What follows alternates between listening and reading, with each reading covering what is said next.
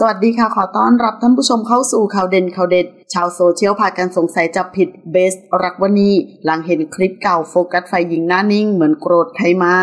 เรียกได้ว่ามีกระแสดราม่าไม่เลิก เพราะกลัวพ่อฝ่ายหญิงสำหรับตรงๆกับหวานใจเบสรักวณีแถมทั้งคู่ยังมีข่าวลือว่าเลิกกันแล้วออกมาบ่อยๆล่าสุดหนุ่มตรงๆก็ออกมาเคลียร์วันทุกคนเข้าใจ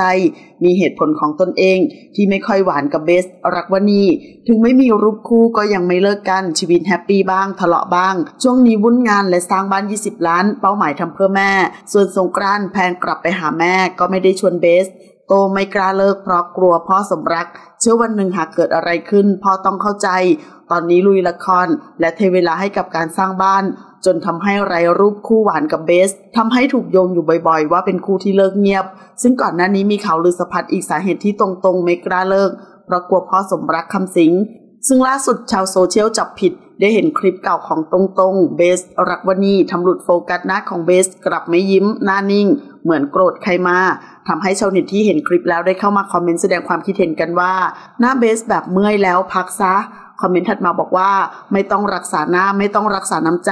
เมื่อหมดใจก็จบดีๆ ผู้หญิงเขามีเซนส์คอมเมนต์ถัดมาบอกว่าเหนื่อยก็พอเถอะค่ะ พักเพื่อเดินต่อคอมเมนต์ถัดมาบอกว่าอยากให้เบสโสด คิดว่าต้องมีความสุขมากกว่านี้คอมเมนต์ถัดมาบอกว่าหน้าเบสบ่งบอกทุกอย่าง ผู้หญิงจะรักมากขึ้นเรื่อยๆ แต่ผู้ชายอันนี้ไม่พูดดีกว่าเป็นต้น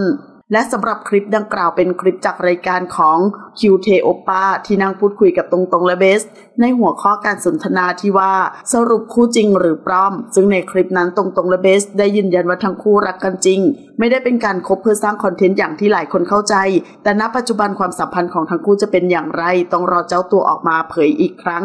ขอขอบคุณข้อมูลจากสยามนิวส์ขอบคุณค่ะ